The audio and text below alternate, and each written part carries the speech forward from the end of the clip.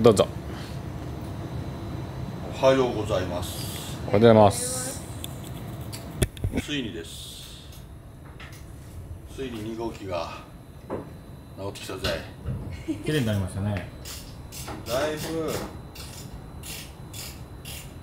これぶつかったボンネットなんだえそうなんですか？けど新しいやつじゃないんだけど。ちょっと一末の不安があるんだけどでもあっちこっち直してるここの辺は。そうですね。直した後若干重くなってるね。まあこの FRP 入ってるからですよね、ん。パテと。でここは全部直した。あのインサイドパネルと、うん。このコアサポートとカーサポートはそのままだと思うよ。でこれ交換しないんですか？交換してないよ。このストラップこのアッパーあれ？ここのここのここは変えてますよね。ここは変えたかもしれないな。この辺はこれまたインサイドパネルに入るんだと思うんうこっちは交換してあますよ、ね。うん。こっちは変えたね。あコアサポートも変えたんかもしれないこっちは変えたね。そっちは何でもなかったんで。サイドメンバーの方は変えてない変えてこない。のまんまなんですね。変えてない変えてえでもこれ全部あれエンジンを下ろした状態で全部これ塗ったんですか？ないいやいやエンジン下ろしてないよ。あ本当ですか、うん。いいですね。あでもまだボンネットにちょっと痛々しいボンネットじゃねえわタペットカバーが、はこれがね。い、これあのダクトが当たったんですよね。そうそうそう。であとはまずこっち側の足回りはちょっと、何でもなかったんだけど一応念のためにナックルとロアームは交換。はい、ですね。まあ、当たったからですよね当たったからね。でこれ今日10 10日、10月10日なんだけど10月28日にはい。これ富士スピードウェイを走るんだよ。お。珍しいですね。この富士スピードウェイなんてもう何年も走ってないけど、まあ、HKS の50周年というなんかプレミアムデーがあってはい。なんか走ってほしいっていうことなんで要は WTAC 用の車がまだ出来上がってないのではいこの車を急遽ちょっとモディファイしてはい。走らせようかななるほど。とでこの車今まで2種6だったんではい。要はそのエンジンパワーの封印はしてあったわけだよ。まああんまり馬力出すとミッション飛んじゃうから。そうそうまあ400馬力ぐらいではい。走ってたんだけど今度は見ろ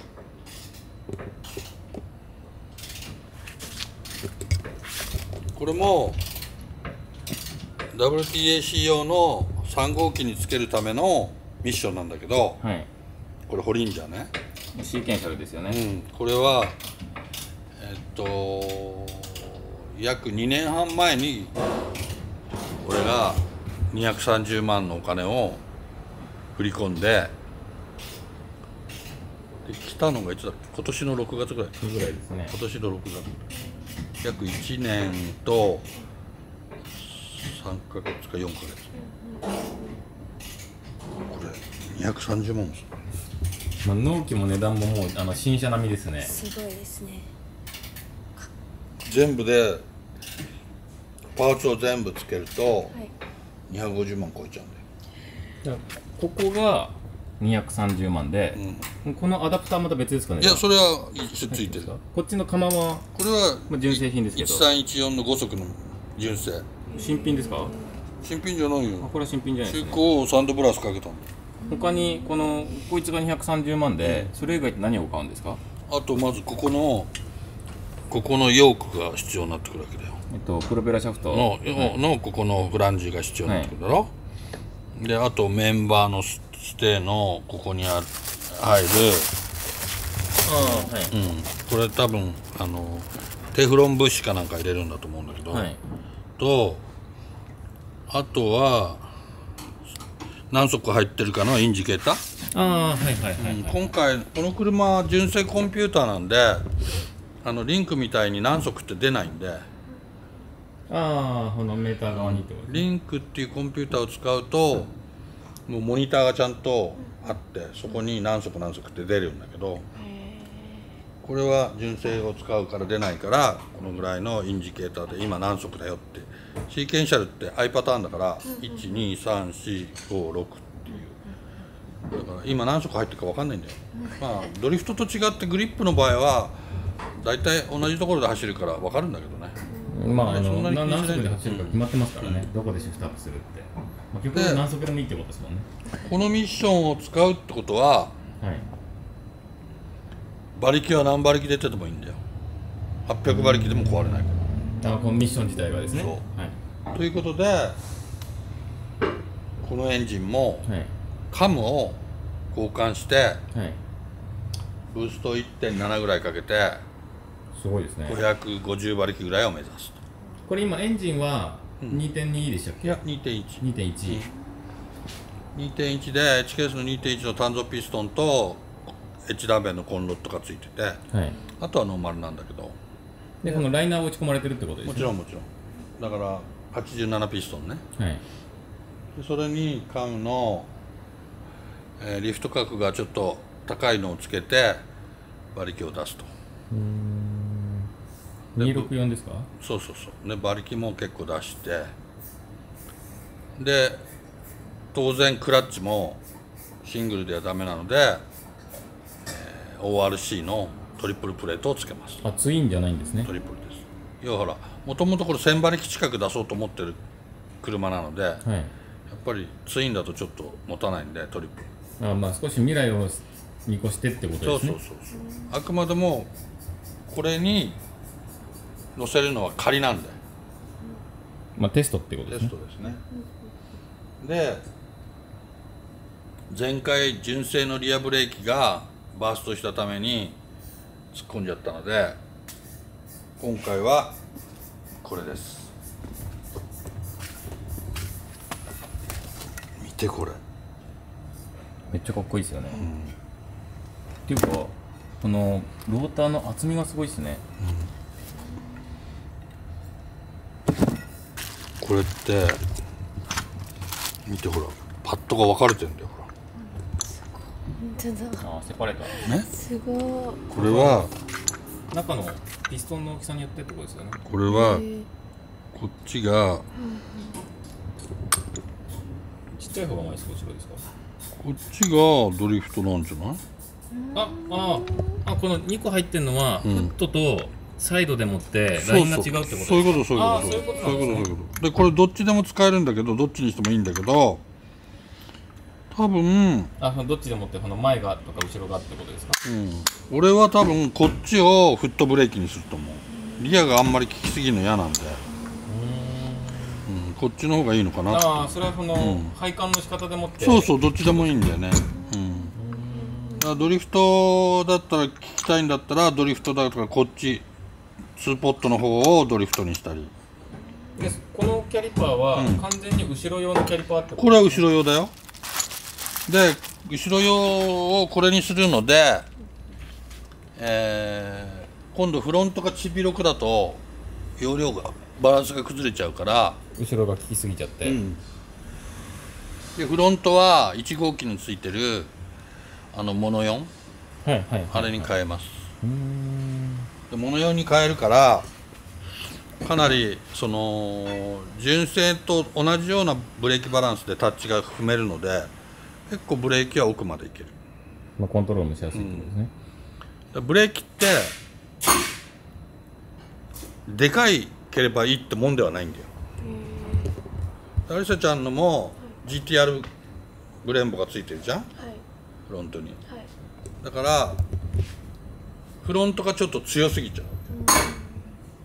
だから結構ガンって特にドリフトやってる時ってフロントのブレーキが強いとカウンター当てた時にトンってブレーキ踏んだ時にふっとこうアンダー方向に行っちゃうあだからこの間俺がブレーキパッドを削って両サイドを削ってちっちゃくしてあげたそのパッドの面積を小さくすることによってその機器の調整みたいのをああいう車はやるのね、うん、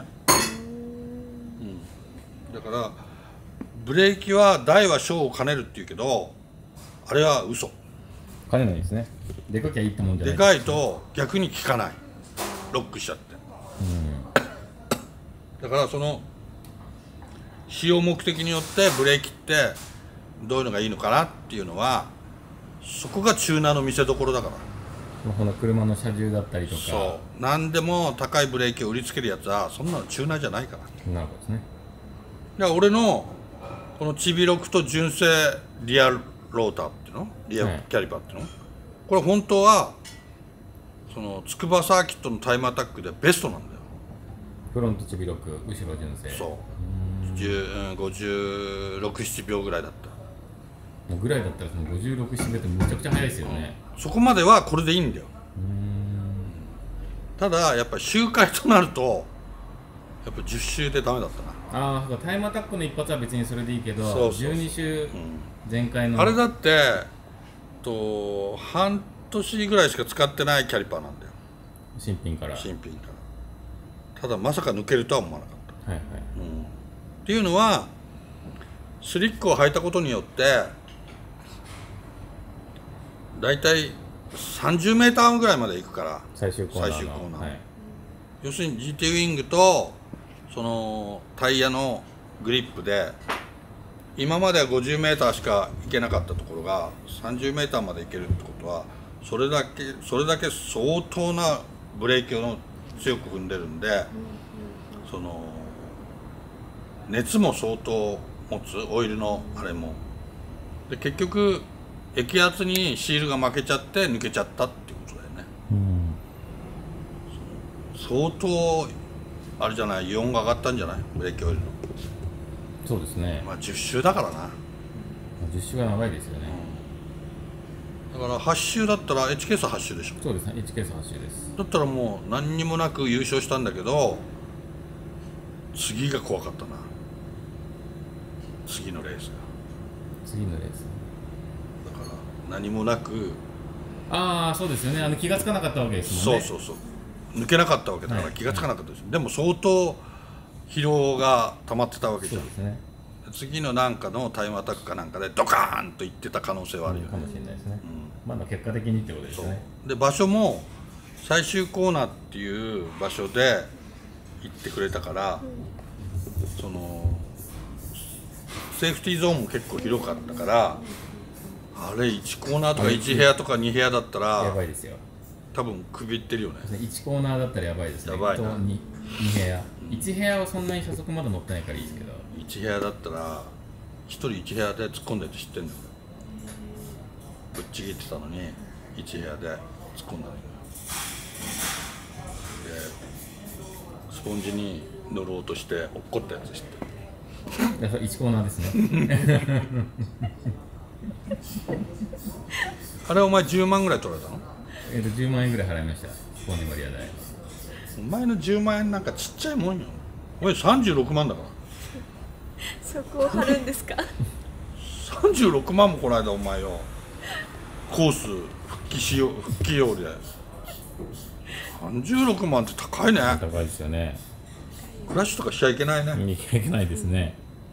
ちょっとしたことで。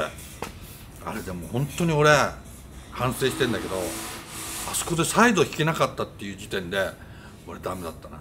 えでも引けたとしても油圧抜けちゃってあそうかワイヤーで引っ張っからワイヤーで引っ張れれるからいけたの。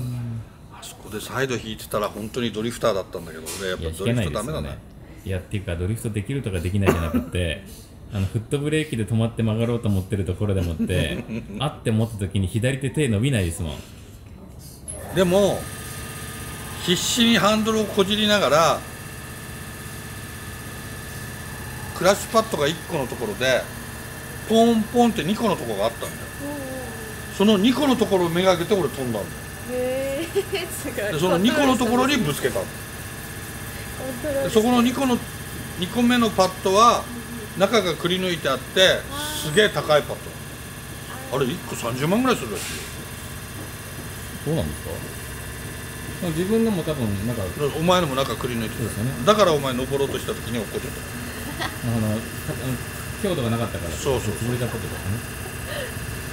あれが中がくり抜いてないといくらスポンジとはいえものすごい衝撃なんだよ。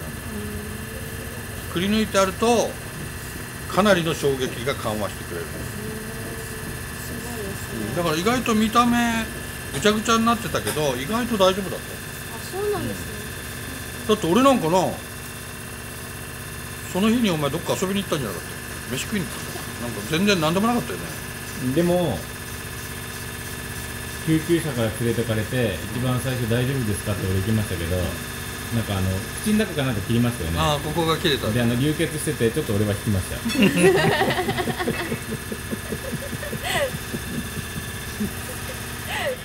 これで俺救急車乗るの2回目だけど。筑波どうですか？いやいやスゴでもやってっから GT の時。あ別にどったことないよね。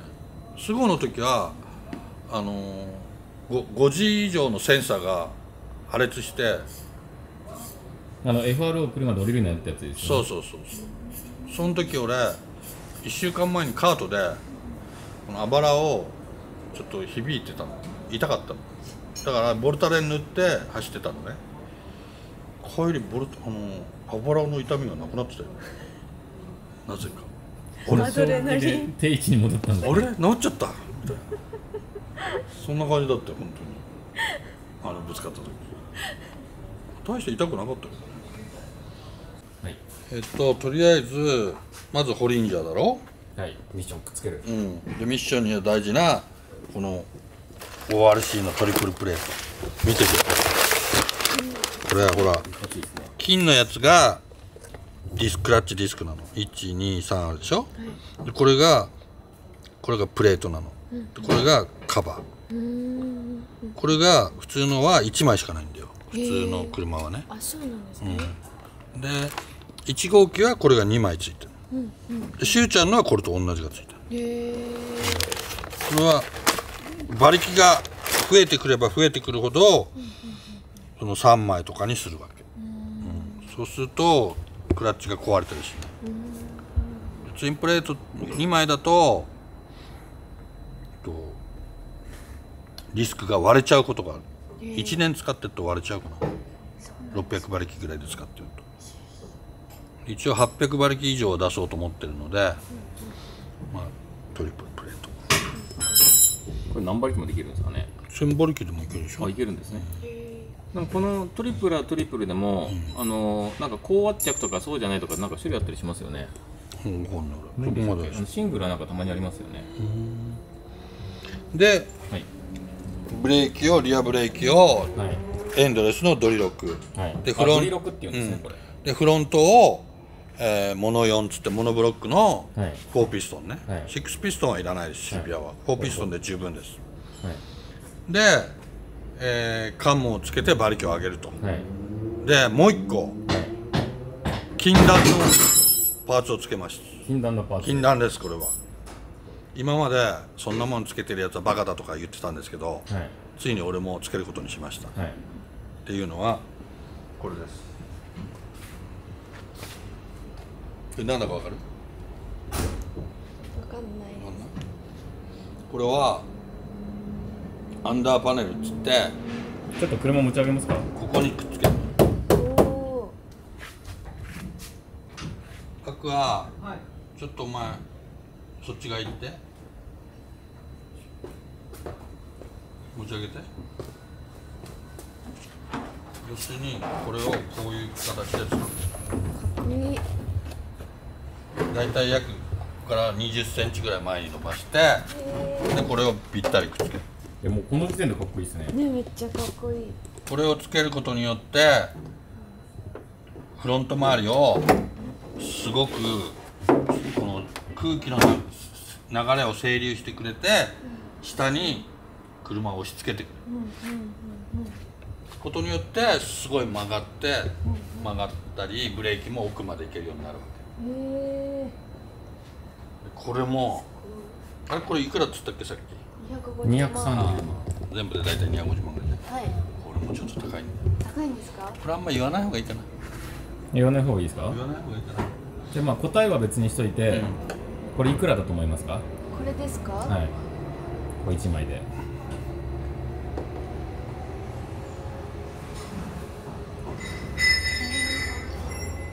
30万。30万。まあそれよりか高いか安いかだけ言って終わりにしますか。まあ、全然それじゃ買えない。ぐらいの品物ってことですね。そうだな。何に例えたらいいんだろうな。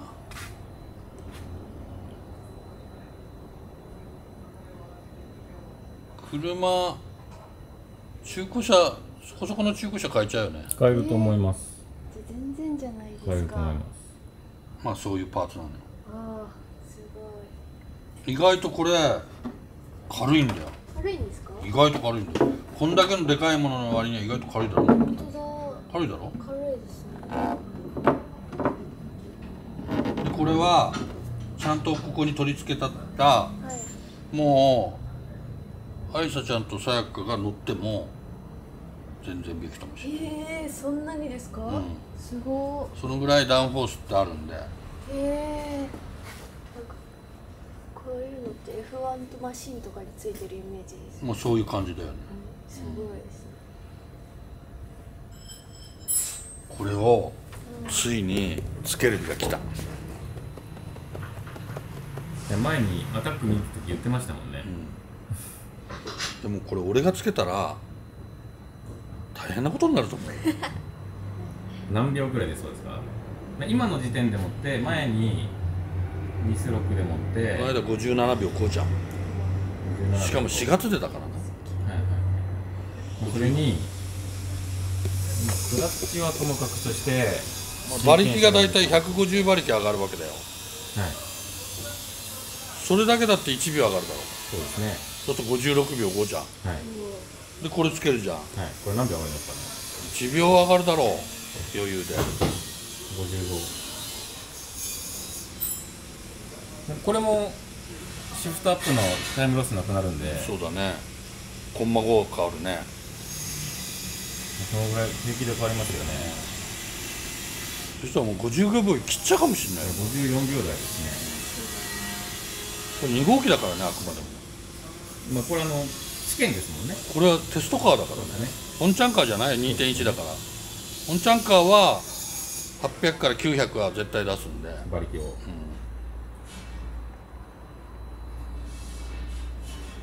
つくばはでもとりあえず富士を走るんですよね。そうそうそうそう。で富士を走ってぶっつけて富士走るんですか？ぶつけだね富士は。あのほら 10, 10月25日のあのレッスン岡地君の時あの時に転がそうかなと思ってあのそこで。狭すぎじゃないですか？え？狭すぎじゃないですいい。か別に転がるかどうかをチェックすればいいだけだ。ああそうなんですね。別にだって富士のバネレートだとかそんなのは大体自分の中で頭に入ってるからはいはい。別にそんな練習とか走る必要ないでしまああの一発でいけるだろうってょそうそう。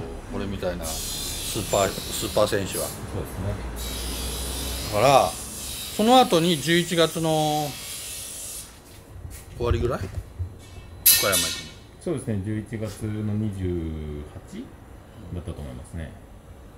の6カ国も俺がな夏場のタイムで41秒ぐらいだったんだよ。はいあの時052だからはい、うーん367秒でいいんじゃないの？でも岡国走ったことないんで1分36秒ですか？それが速いんだか遅いんだか全然わかんないですね。うん、まあ、40秒切ると早いね。自分の車を持ってったら何秒ぐらいですか？43秒ぐらいじゃない？ああじゃあ結構ですね。で今年オートポリス行こうと思ったけどオートポリスはやめるわ。ああそうなんですか。ちょっと真面目に仕事する でお金が。まああの湯水大変もの大変ですけどあの消費する時間がすごいですもんね、湯水のごとくお金使うでしょ。まあ、これから WTAC に向けてですよね、まあ余裕で1500万ぐらい金かかるよね。そうですよね。でいざ行こうとしたら旅費だって半端じゃないじゃん。そうですね。今飛行機がめっちゃ高いんだよ。そうなんですあれ？エコノミーで20万だっけ？この間やった時。ああそのぐらいって言ってましたね。確かエコノミーで20万だよな、はい。ビジネスだと40万だもんな。そうですね。倍ですもんね。十何人。かすごい。大変なチームヤシオファクトリー大所帯じゃん？そうですねだって林も行くんだよ。林さん。あの浜口選手権の林えだって現地のサーキットの俺のピットの前で甘栗焼くんだオーストラリアにハマグリってあるるんですかね、ええしうん、九十九里のハマグリ持参でもああ持参で持ってるん持ですね。っていけるんですか？日本の大和魂見せる。七輪と。俺がタイム出す前にあいつがハマグリとサザエをおでこに乗せて 20, 20秒に挑戦する。そしたら俺もベストラベストラップ出すでしょ。その気合を見てってことですね。相乗効果ですね。普通だとあんなやつ連れていかないでしょ。あと誰連れてくる？のあれ？ヤマト連れてくっつったっけ？もう一応頭数に入ってたと思います。じゃあヤマト連れてくのやめようであいつちゃん連れてこう。あ代わりですね。そう。あいつ連れてっても何の役に立たないじゃん。汗が臭いだけじゃん。はい。汗臭いし汚れるしね。だってカンタス空港の飛行機の椅子が汚れちゃうでしょ汗で。あの黒くなっちゃうんですもんね。じゃあそうしよう。と9月の終わりぐらいだよ大丈夫。ですか大丈夫。9月の終わりぐらいまあわかんないですけど。分かんないよな。分かんないよな。分かるわけないな。ということで楽しみだね。楽しみですね。とりあえずその富士スピードウェイはあくまでもまあ転がすことをあの目標に走らせるんだけれども、はい。まあ、富士は意外と得意よタイム的にはどのぐらい乗れますか？50前半ですか？俺1号機で48秒。48秒？1分48秒。そんなに速いんですか？は1号機でだよい前、はいあのこういうのつけてないで状態でだよ。ね。はい。後ろの羽だけでだよ。はい。あれで48秒だったねへー。それってホームストレート何キロ出てるんですか？あの時は2.2リッターでしょ？2.2リッターだけどホームストレートとそうでもないと思うよ、260とかですか？うん、そのぐらいじゃない？それよりか多分今回タイム出ますよね。うん、まあ、ちゃんと走ればね。だから GT の時に出したタイムが44秒だ。からまあ当時の GT3 でってことですよね、まあ、そのぐらいいけたらいいですね。いやそこま、まあ、そこまで行くんじゃない？ちゃんと走ればね。タイヤはそれはスイック。が050その時は05に。あ050、050、うん、今回は今回はスリックで行くスリックで。まあ、スリックだって別にタイムは変わんないけど、まあ、周回できるだけ、はいはいうん、そうそうそう、うん、まあそういうことでですね。新しく直った。まだこれライトついてないんだけど、はい、まあ、その辺もうん、おめかしもしつつそうそう。パワーアップしてですそうねそう。いや楽しみだな、そうですね。あともう HKS の話もう今月の末の話ですもんね。そうそう。もう2週間後にはたださアイドラーズがさつまんなくなっちゃうんだよな。あぶっちぎりすぎちゃって。アイドラーズちょっと無理でしょ。ポルシェじゃ。またそういうこと言うと。あの出来になっちゃうんでやめときましょう。あのいい勝負しましょう。っていうかだからアイドラーズの時はシーケンシャルは外すよああ26に戻す。はいはいはい。で馬力もちょっと抑えて。馬力は450馬力ぐらいで抑えて。はい。それで走る。そう。やっぱバトルが楽しいもんな。まあぶっちぎっちゃったらそうぶっちぎったらだってただのあのスポーツ走行と一緒だから。そうですね。壮行会ですね。やっぱり1位は取れるか取れないかギリギリのラインでの車を持ってって走るっていうのが楽しいんだよ。そうですね。うんななんかぶっちぎっちゃってさなんかこれ見よがしに俺ら速いだろうって。かっこ悪いでしょそれ。まあ面白くないですよね。なんか完全にマスターベーションだもんね。そうですね。そうでしょ？そうですね。レースしに行ってんだから。ね。レースはやっぱでもこの間じゃ俺意外とマスターベーションだった。うんそうですね。ぶっちぎっちゃったもんね。そうですね。なん途中で行っちゃったってことですよね。この間ちょっとなんか反省しなきゃいけないかな。っていうかそうじゃないんだよ別に俺頑張ってなかったんだけど後ろがついてこなかったんだ。あペース上げたつもりはなかったですね。ほらあれなんかガシャガシャやってたじゃん2位以下が。ああそうですね。それであいつらがほらペースが上がんなくて俺だけなんか普通に走っちゃったから、はいはいはい。俺だけちょっとコンマ23早かったんだよね。そうですね。だからあくまでもこれは WTAC 用のテストとして走らせるんであくまで2号機は2号機で元の姿に戻すとああまあとりあえず一回試験としてこの辺のパーツたちをくっつけて、うん。まあこんな感じって分かったところでもって、うん。最後本ちゃん機に全部部品移してまた元の状態に戻るわけですねそうそう。やっぱりねみんなとレースするのが楽しいから。まあ最終的には戻すってことですね。そうそうそうそう。ということで皆さんあの応援待ってますよ。この募金も待ってます。はい。まあ、どうせどうせ日本人はくんないんだよ分かってんだよ。お前らはどうせあれだ見てるだけだろ。俺はもういい。アメリカ人から募金募るから。アメリカ人はそういうなんだろう。人を持ち上げてくれるというそういう気持ちがあるね。まあ、応援するね。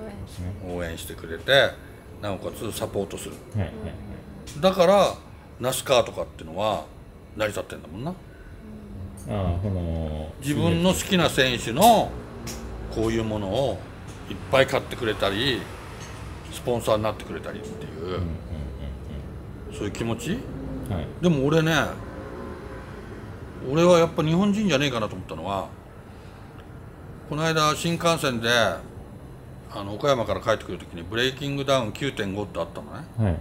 それをずっと声ちっちゃくして聞いてたんだけど見てたんだけど、あの森って選手がいるんだよ。はい。そいつがなんかやたら不良なんだけど面白いんだよ。はい。この間負けちゃったんだけどすっげえこんな体してんだけど負けちゃったんだけど、はい。俺あいつのスポンサーになりたいんだよね。ああ何か支援をしたいってことですね。なんかねいい感じそいつ。俺の好きなタイプだっでもあの SNS で連絡先を探るしかないですね。たそうだね。どうやったらスポンサーになれるのかちょっと知りたい。ちょっと森見てたら俺のとこ電話しろよ。で逆か。俺が連絡するのかよ。まあそうですね本来は。まあちょっと向こうから来たらがめつい感じしてなんかちょっとなえそうですよね。いやいやそんなことないよ。あ そんなことないですか？そんなことない。なんかすごい純粋なの。ちょっと頭足りないのかもしれないけど俺的にはもうめっちゃ好きになっちゃったんだけど。そういうところが俺単純なんだよね。意外と、うん、スポンサーになろうかなと思って。るよちょっと連絡してみましょう。その森選手をスポンサーをするためにアメリカ人からスポンサーをもらうと。も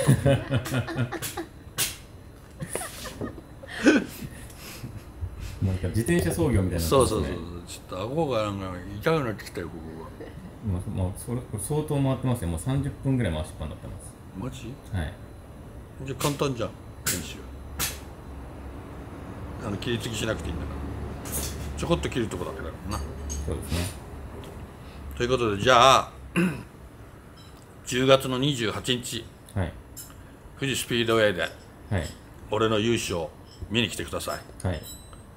新しくなった2号橋ねすごい走りを見せられると思うんで頑張りますからよろしくお願いします。はいお願いします。お願いします。はいお疲れ様。よし終わり